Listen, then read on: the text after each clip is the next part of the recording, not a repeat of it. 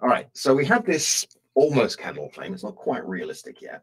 Um, what do we want to do about that? I think the velocities need to change. Right now, they're too steady. So it's going to be minimum velocity of 0.25 and a maximum of 0.5. And suddenly it started to look a bit more irregular. We could put a little bit of spread back in, say five.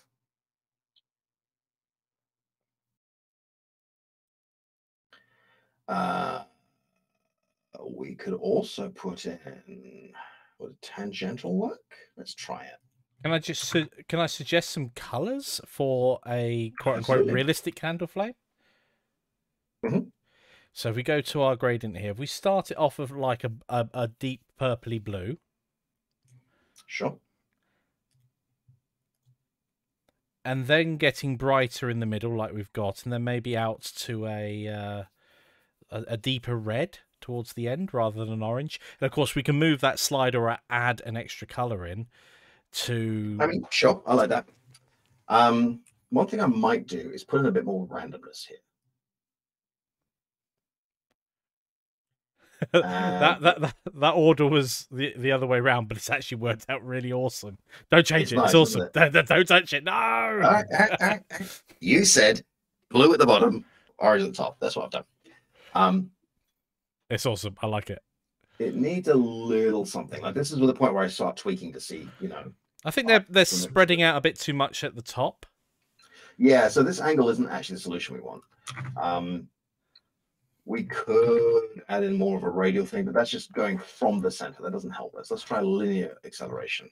Remember some of these settings. This would look amazing on a mag racer coming out the back of it. I think it would. Angular velocity, no. You know what? I think turbulence is the answer. Let's just put in some turbulence. But I want to put in very little turbulence. Little, little turbulence. Teensy, teensy turbulence. So let's say 0.1. Nope, come back.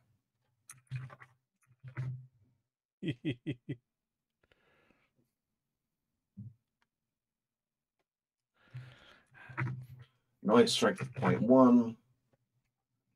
Jelly says purple. It needs purple. There's purple there. More purple. Now, don't forget the colors you're picking here are not actually what's going to show on screen because we're adding them, right? Like, if you want them to look like that, you'll have to put a light source in, like so, on the light. Let's move you to here. And then we can go back to our flame and make it shaded. So it actually takes light information. You don't want light information for a um, for an actual for a light source like a flame. But if you did, you'd end up with something that looks a bit more like I mean, this would be great for, for instance, something emitting smoke, and you're coming past with a flashlight. mhm. I like it.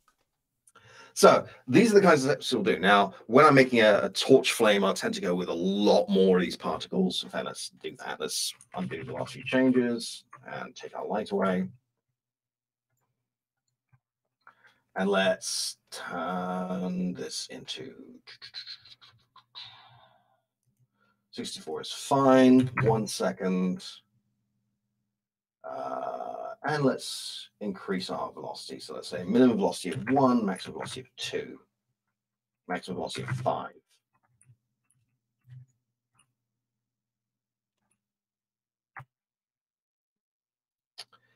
And let's get rid of our randomness. We don't want that at all. Our explosiveness, rather. We want a constant.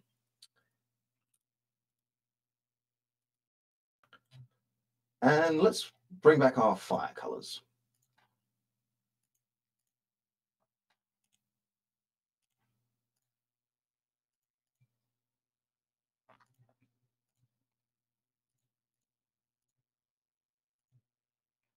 Oh, nice.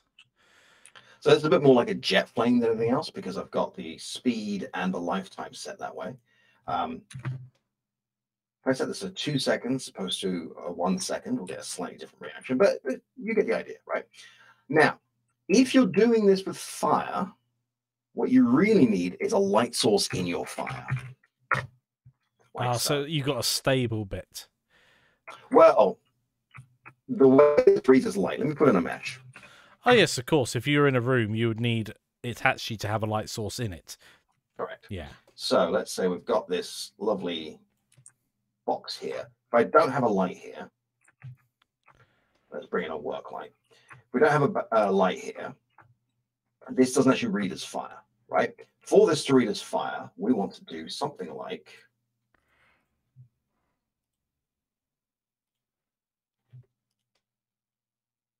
this with some shadow. Uh, and we might make this a little bit bigger. There we go. And this will now start reading a bit more as fire.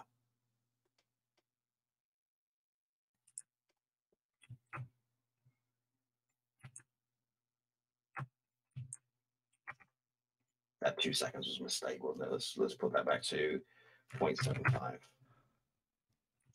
So okay, that's how I would do something like a torch. Let's check how we do it for time. Oh, actually way slower. Stable diffusion. okay,